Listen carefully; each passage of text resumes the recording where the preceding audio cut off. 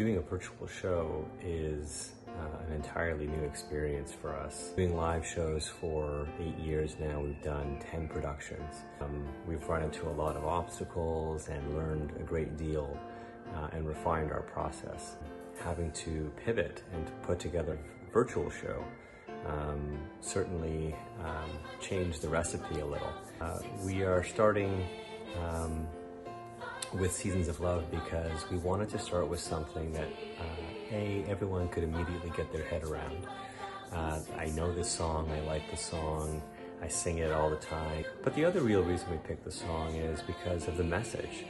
Um, Seasons of Love is really about looking at and being grateful for all of these incredible things that happen in a year in the life of somebody. And how do you measure a year in the life?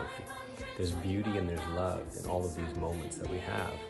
And certainly now, during the pandemic, when we're home, we're spending more time with our families for those that have family living with them, or potentially even communicating more often with family that are not with us, whether by phone or virtual meetings.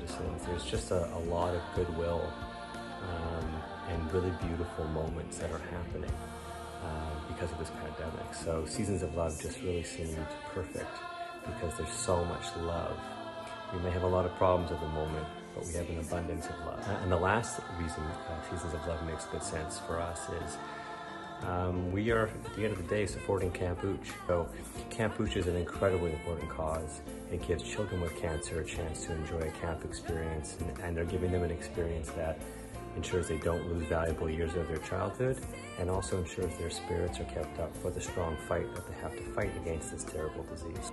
So I hope you look forward to our first release. It will be coming out soon. In the meantime, um, our next song that's open to the public is a parody song. It's the song 9 to 5 from the musical, originally from the song by Dolly Parton.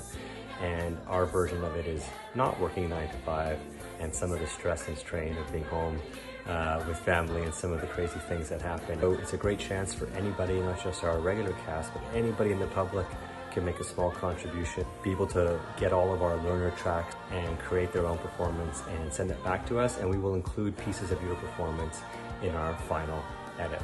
So I hope you take us up on that and, uh, and get involved.